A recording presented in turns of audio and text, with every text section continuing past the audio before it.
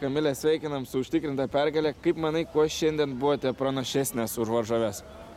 Manau, mūsų komanda labai labai užsivedus pradėjo varžybas.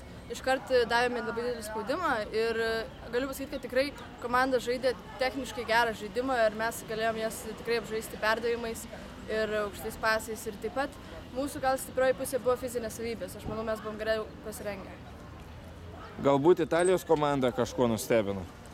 Italijos komanda jos, nors ir, sakau, kaip ir paminėjau, yra fiziškai mažiau gal pasiruošę, rūgio skirtumas jos yra šiek tiek mažesnės, žemesnės, bet e, labai aršiai žaidžia, labai kovoja, e, lipa, kovoja, nu tiesiog mažas, bet tikrai tikrai piktas ir, ir to tikrai nustebino, nors ir negaliu sakyti, kad jos buvo tokios e, negra, negražą elgesį demonstravo, nes jeigu kokia žaidėja nukrito ar ką, pakėlė, atsiprašė ir šiaip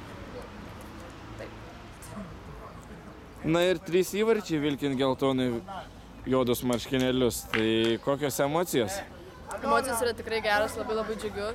E, man pačiai tai yra labai svarbu, nes šiek tiek tarsi reabilituočiausi po praeitų varžybų, kurios man buvo mažiau sėkmingos. Nors ir kartu tikrai neprieimu čia kaip savo kažkokio laimėjimo, nes tai yra tikrai komandos įvarčiai, akivaizdus komandos įvarčiai.